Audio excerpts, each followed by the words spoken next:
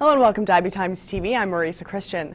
NASA is on a quest to better understand the behavior of fire in space. Since March of 2009, NASA's Flame Extinguishment Experiment, or FLEX, has conducted more than 200 tests to better understand the fundamentals of flames and the best way to control and suppress fire in space. While flames can be put out on Earth with water and maybe a few chemicals, in space with no gravity, flames behave in very unconventional ways. It's crucial for the crew living on the International Space Station to better understand the behavior of fire because even putting out a small fire in space quickly becomes a matter of life and death. In order to conduct their experiments, Flex researchers ignite small drops of either methanol or heptane. These tiny spheres of fuel engulfed by a perfectly symmetrical flame burn for roughly 20 seconds until the fuel runs out. In space, flames burn at a lower rate with a lower temperature and with less oxygen than in normal gravity. In this just released video, you can see footage shot by the camera in the NASA Glenn designed and built Combustion Integrated Rack, or CIR, which is located in the U.S. Destiny Laboratory module of the space station. These studies contribute to fire safety research and the more fundamental science research of combustion. The investigation is ongoing aboard the space station. When asked about the station's discoveries thus far, Forman Williams, the principal investigator, said, quote, the most surprising thing we've observed is continued apparent burning of heptane droplets after flame extinction under certain conditions. Currently, this is entirely unexplained. Marisa Christian, IB Times TV. There's no up or down in space, of course. So how can anything burn up? NASA's Flame Extinguishment Experiment, or FLEX, has been probing the behavior of fire in the microgravity of space to learn how to best suppress flame. After some 200 experiments, researchers have learned that fire in space can start at lower temperatures and flare up in less oxygen than here on the surface of the Earth. And in a so far totally unexplained phenomenon, droplets of methanol continue to burn even after all flames have been extinguished. And the same thing happens with heptane.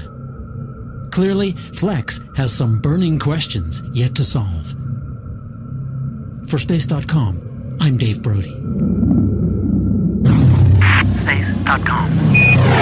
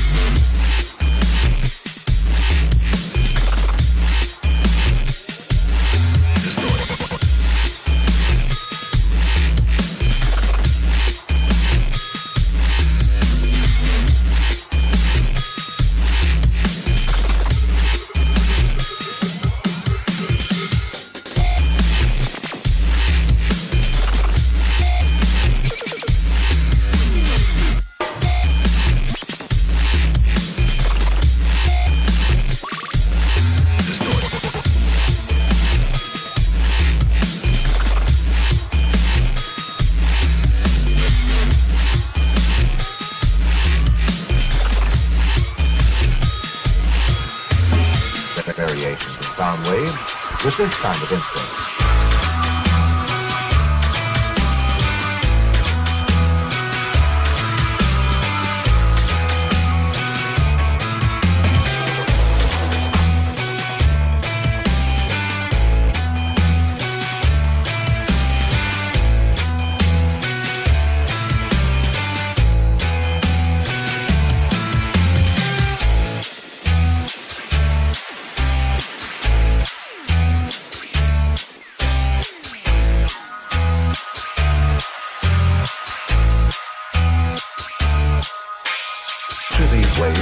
As animated drawings. Striking the prongs distorts them. Like other solid objects, these prongs resist distortion. They spring back and forth, thus producing new distortion.